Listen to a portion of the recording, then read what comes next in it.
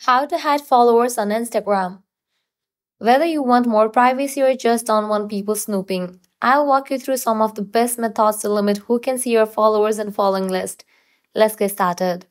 The first and most effective method is to switch your Instagram account to private.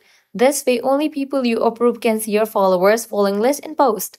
So, launch your Instagram, navigate to the profile page. Once you're in the profile page, click on three bars. Now, different options will appear. Click on the option of account privacy, toggle on for the option of private account. Now, only approved followers can see your account, including your followers and following list. But what if you just want to hide your followers from specific people? The easiest way to do this is by blocking them. Head towards the profile of that person that you want to block. Click on three dots. Click on the option of block. Click on block again. This will prevent them from seeing your post stories and following list, plus, they won't even know they have been blocked. Next, you can also remove followers if you no longer want them to see your content or followers list. And the best part, they won't get notified.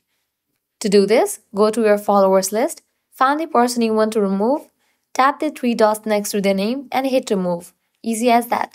While Instagram does not allow you to completely hide your followers from everyone, these methods give you control over who can see them and limit the visibility of your follower list.